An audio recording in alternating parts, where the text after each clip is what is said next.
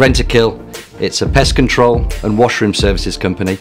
We're across 90 countries around the world. We have 54,000 employees. Where IT really deliver value is around the more proactive element of pest control. So now we have millions of connected rat traps around the world. Instead of seeing if anything's happening, the rat traps are telling us if anything's happening. So we've been partners with VMware for eight to 10 years now. We started off vSphere, um, we moved into vSAN in terms of the end user space. We're also big Carbon Black users, Workspace ONE users. Uh, the networking space, we use VeloCloud SD-WAN across our 900 sites around the world. In recent years, we've moved into things like NSX and the, the kind of end-to-end software-defined uh, networking within the uh, um, data centers. And more recently, we've moved into GCVE, so the VMware engine on, on Google Cloud Platform. We were moving towards the end of our um, normal hardware life cycle within our on-premise data centers. So we knew we had to make do something different. We were very limited in terms of how quickly we could increase capacity in our legacy environment.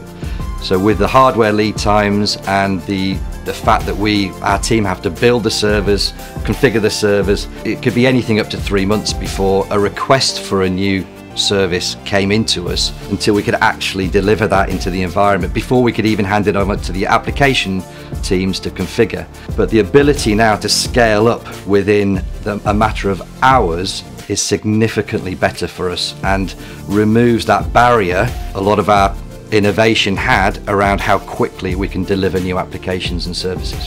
One of the reasons we chose Google Cloud VMware Engine was because we didn't want to have to do a big transformation project. We had roughly 2,000 uh, VMs within our hosting estate, and that would have been a huge amount of work to create those in a cloud native GCP environment, AWS, whatever it might be.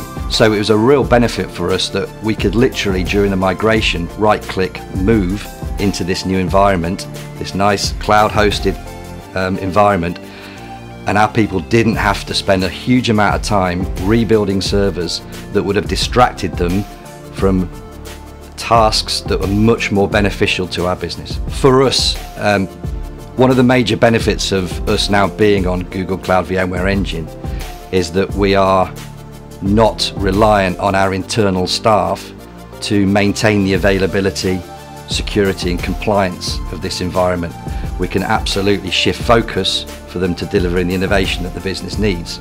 And we're reliant on good, trusted partners that have proven themselves over many years that we, they can deliver that in that commodity environment for us. So in terms of our future plans for Google Cloud VMware Engine uh, and IT in general, so we're only halfway through the journey. We've got two other global data centers that we are still currently looking at plans to migrate them to um, Google Cloud VMware Engine. Um, so they're due to meet up with the hardware refresh life, life cycles over the next couple of years. So really it's to concentrate all of our hosting, wherever we're hosting a server in the world, we want it to be managed with a single pane of glass in a single manner and that's why our desire is to move all of our servers globally onto Google Cloud VMware Engine.